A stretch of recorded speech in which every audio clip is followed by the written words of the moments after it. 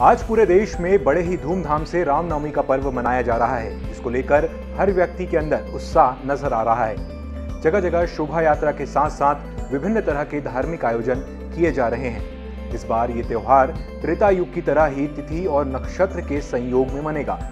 श्री राम का जन्म दोपहर में हुआ था, इसलिए रामनवमी की पूजा दिन में ही होती है। इसके लिए दिन में दो शुभ मुहूर्त रहेंगे। इस दिन नौ योग भी बनेंगे, जिससे पूजा और खरीदारी के लिए दिन शुभ रहेगा।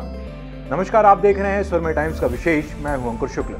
अगस्त संहिता और वाल्मीकि रामायण के अनुसार श्री राम का जन्म चैत्र महीने की शुक्ल पक्ष की नौमी तिथि और पुनर्वसु नक्षत्र में हुआ था। ऐसा ही सहयोग इस बार 30 मार्च गुरुवार को बन रहा है।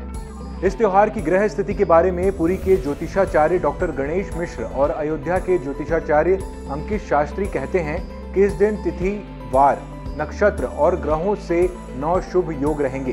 पिछले 700 सालों में ऐसा संयोग नहीं बना है। चलिए अब जान लेते हैं रामनवमी के पौराणिक इतिहास के बारे में। वाल्मीकि रामायण के मुताबिक, राजा दशरथ जब बहुत बूढ़े हो गए तो संतान न होने के कारण चिंतित रहने लगे। ब्राह्मणों ने उन्हें पुत्रका मिष्टि यज्ञ की सलाह दी। महर्षि वशिष्ठ के कहने पर दशरथ ने ऋषि श्रृंग को इस यज्ञ के लिए बुलाया। यज्ञ पूरा होने के बाद अग्निदेव प्रकट हुए। उन्होंने खीर से भरा सोने का घड़ा, दशरथ को दिया और रानियों को खीर खिलाने को कहा। एक साल बाद चैत्र शुक्ल नवमी पर पुनर्वसु नक्षत्र में माता कौशल्या ने श्री राम को जन्म दिया। पुष्य नक्षत्र में माता कैकई ने, भरत और माता सुमित्रा ने जुड़वा बच्चे लक्ष्मण और शत्रुघ्न हुए।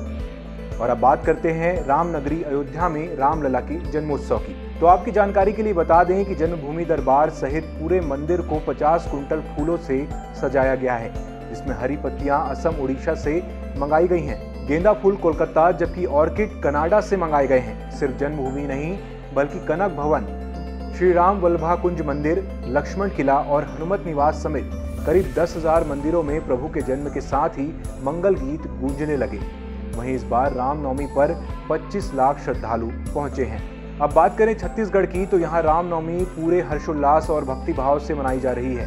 प्रदेश के अलग अलग जिलों के मंदिरों में विशेष पूजा पाठ और भंडारे का आयोजन किया गया है। राजधानी रायपुर में भी श्री राम सीता के मंदिरों में पूजा अर्चना के बाद भंडारा कराया जा रहा है।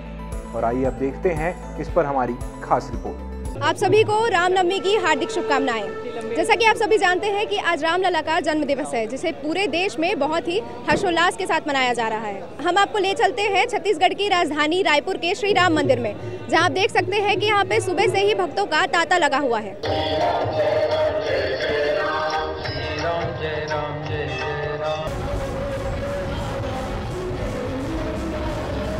अभी जब इतनी रौनक देख रहे हैं तो लग रहा है कि अयोध्या में जो राम मंदिर बनने जा रहा है वो तो अब बन के ही रहेगा। श्री राम मंदिर में राम जी के दर्शन करने आए हैं। बहुत भव्य मतलब बहुत सुंदर तरीके से राम जी के मंदिर को सजाया गया है। अद्भुत छवि जो कहते हैं ना वो है और अथाह भीड़। आज हमने महाराज श्री राम का राज्यभिषेक किया जल अभिषेक किया।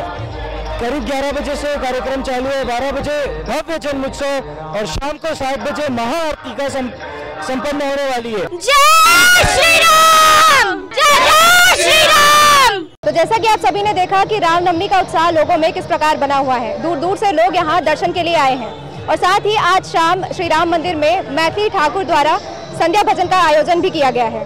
इसी के साथ आप सभी को रामनवमी की हार्दिक शुभकामनाएँ। कैमरामैन दिनेश राव के साथ मैं लक्षिका स्वरमय टाइम से।